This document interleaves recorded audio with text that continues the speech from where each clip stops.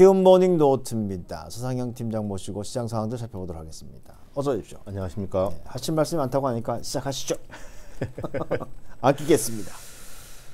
어제 미국 증시 좀 많이 빠졌죠. 네. 어, 이거 좀 보겠습니다. 이게 장중 이틀간의 흐름인데요. 어제 새벽에 끝난 거. 네. 오늘 새벽에 올랐으니까. 네. 예, 예. 이게 보면 장 초반에 이렇게 빠져서 시작합니다. 그리고 낙폭을 좀 더 확대했는데 어, 빠져서 시작했던 요인은 우리나라 장중에 나왔던 이게 뭐, 어, 그 그저께 이제 우리나라 장중에 이제 영향을 줬던 내용. 그러니까 미 재무부가 중국 기업들에 대한 규제. 음. 그 다음에 또 하나가 그 미국 공무원 아니 중국 공무원들에 대한 비자 제한, 예, 인권을 이유로 예, 그런 식으로 나오면서 무역 협상에 대한 기대가 약화되면서 빠져서 출발했습니다. 더 나아가서 백악관에서 정부 연기금의 대중국 투자를 제한 투자를 차단하는 방안을 검토한다라는 소식이 전해지면서 낙폭을 좀 더 확대했고요. 그다음에 장중에 이 흐름 자체를 보면 낙폭을 계속적으로 축소합니다. 그 요인은 뭐였냐면 그러한 내용에도 불구하고 스물들에 대한 기대가 높다라는 분석들이 나오면서 낙폭을 축소하기 시작하죠. 음. 그리고 여기 여기에서 뭐가 있었냐면 파월입니다. 음. 파월 연준호장이 대체제지표 확대를 언급을 하면서 훅 치고 올라가죠. 음. 그래서 거의 약보합 근처까지 올라갔죠. 이제 그런 상황에서 파월이 발언을 계속 하고 있는 도중에 무슨 얘기를 하냐면 지금 현재 경제 지표가 금리 인하를 위한 이제 위험도가 확대 확대되고 있지는 않다.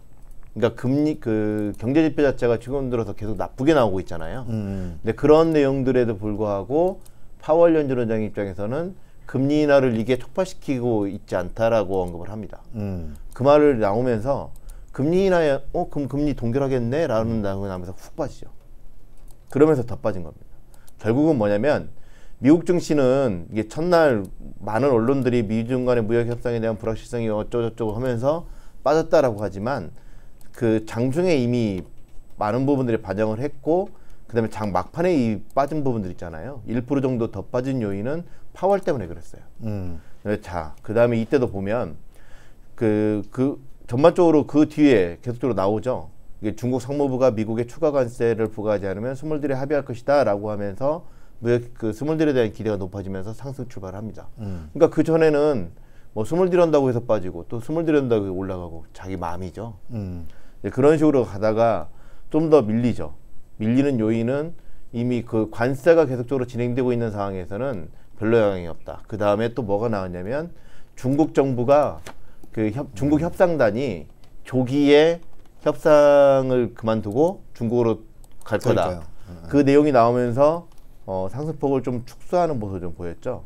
여기 보면 그랬는데 여기서 파월이 또 언급을 합니다. 파월이 11시에 또 발표를 했는데 이번에는 금리 정책에 대한 얘기는 안 하고요. 그 지금 현재 일부 위험이 있지만 전반적으로 경기는 양호하다라고 하면서 뭐 경기에 대한 자신감을 표명하죠. 그것 때문에 반등을 주기 시작합니다. 수수수수 가다가 여기서 이제 뭐 그 FOMC 의사록 공개를 했는데 50bp 금리 인하를 지금 현재 저희는 불라드 세인트루이스 연은 총재 한 명으로 알고 있잖아요. 음, 음, 음. 근데 복수의 연준 위원들이 50bp 금리 인하를 얘기를 했다. 음. 그 다음에 의결권을 갖고 있는 사람들 중에 반절 정도가 올해 한 번 정도 더 금리 인하를 얘기하고 있다. 그러니까 금리 인하에 대한 기대가 높아지면서 상승을 좀 더 확대합니다. 이 부분 장 마감을 앞두고 훅 빠집니다. 이 요인은 터키. 음. 터키가 이제 시리아를 공격을 하면서 이제 거기에 대한 불확실성이 높아지면서 상승폭을 줄여버리죠.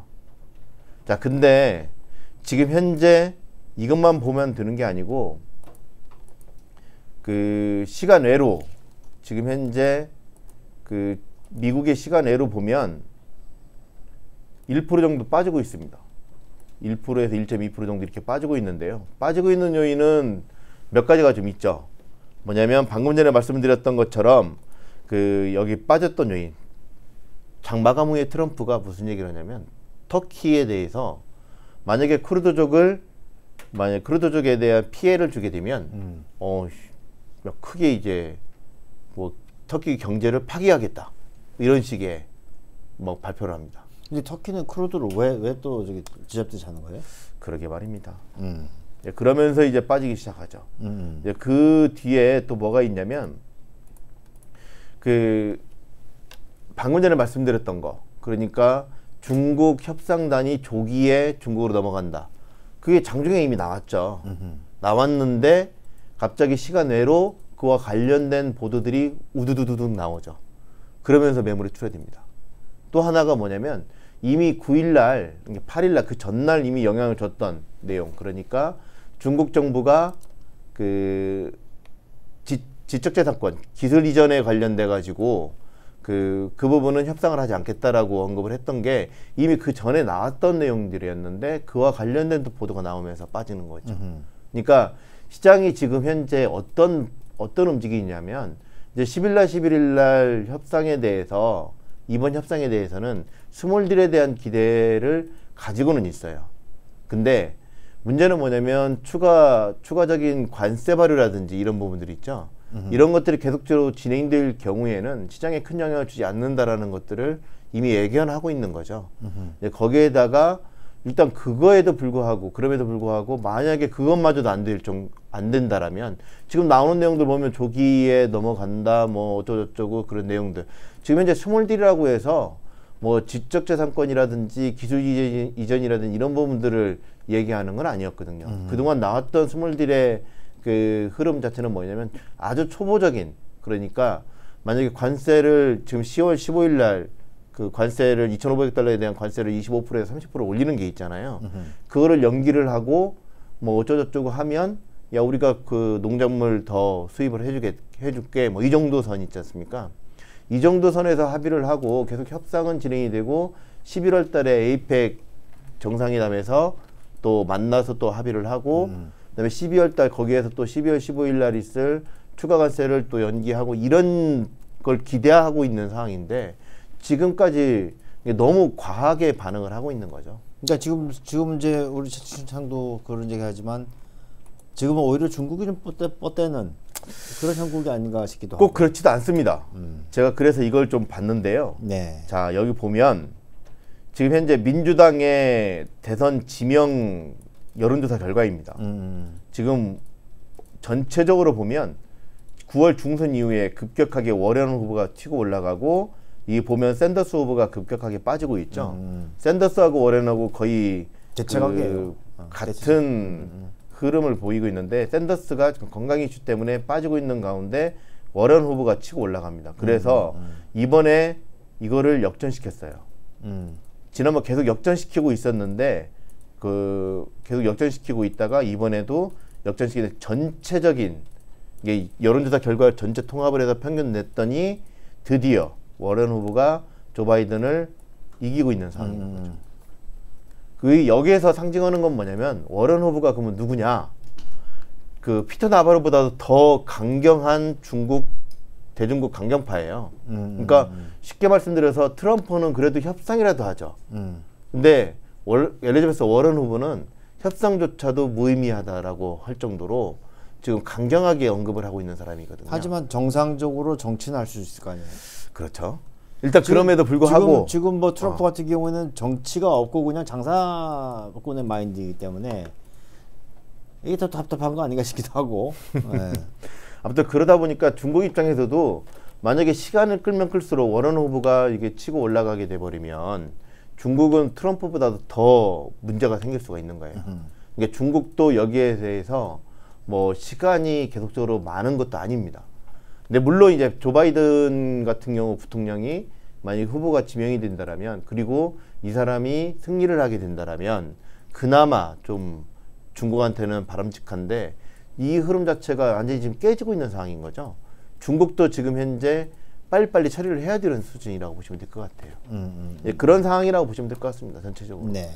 그리고 이제 오늘 우리는 이제 옵션 만기에 들어오는데 뭐 거기에 대해서는 특별하게 그 나온 뭐 얘기들은 옵션 만기일이기 때문에 상당히 좀 변동성이 좀 커질, 커질 수 있는 상황에서요. 지금 방금 전에 제가 구구절절 말씀을 많이 드렸잖아요. 그 어제 새벽에 끝난 미국 증시가 한 1.2에서 1.7% 정도 빠졌고 오늘은 한 1% 정도 빠졌고 또 시간외로 아니 1.1% 정도 올랐고 또 시간외로 1% 정도 빠지고 있고 이건 뭘 얘기를 하냐면 시장이 방향성을 잃어버린 거예요. 그러니까 뉴스 보도 하나하나에 너무 민감하게 반응을 하는 거죠. 음, 음, 음. 이렇게 변동성이 커질 수 있는 커지고 있는 상황에서는 우리나라 주식시장의 뭐 긍정적인 움직임은 결국 실적밖에 없는 거거든요. 음, 그래서 삼성전자가 실적이 잘 나왔는데 일회성 비용을 빼면 한 7조 한 4, 5천억 정도, 4천억 정도 생각을 한다 하더라도 반도체 업황에 대한 기대라든지 이런 것들을 감안해서 업, 그 전반적으로 우리나라 주식시장 전체적으로 실적 바닥론이 불거지고 있는 상황이지 않습니까? 그렇기 때문에 만약에 미국 증시가 큰 폭의 하락만 조정만 없다라면 우리나라 주식시장은 견조한 흐름을 좀 보일 수는 있겠죠. 음. 그래서 장 초반에 뭐 일단은 이렇게 돼버리면 오늘 1% 정도 올랐던 것만큼 1% 정도 시간 외로 빠지고 있으니까 이거 제외시킨다고 보고 어저께 그 아시아 시장이 한 0.6% 정도 빠졌었거든요. 음. 그 정도 수준에서의 움직임. 그 다음에 그 뒤에 문제는 뭐냐면 중국입니다. 중국의 지금 현재 여기의 위안화 환율이 그 미국장 끝났을 때만 해도 약 0.3% 정도 달러 대비 강세를 보이고 있다가 지금 현재 그 거의 보합권까지 다시 빠졌거든요. 이 상태로 보면 네, 그런 흐름은 좀 보이고 있어서 이게 지금 그거예요. 방금 전에 1% 정도 빠졌던 그 시기 그러면서 빠졌기 때문에 대체적으로 여기에서 중국 정부가 중국 증시가 과연 어디로 튀는지가 가장 관건이에요. 그래서 오늘 우리나라 주식시장은 장 초반에 하락 출발할 것으로 전망되고 있고 그 뒤에 그 10시 반 이후에 중국 증시의 움직임에 따라서 시장의 변화가 야기될 수가 있다고 봐야 될 것 같습니다. 알겠습니다. 오늘 여기까지 모시도록 하겠습니다. 고맙습니다. 네, 감사합니다.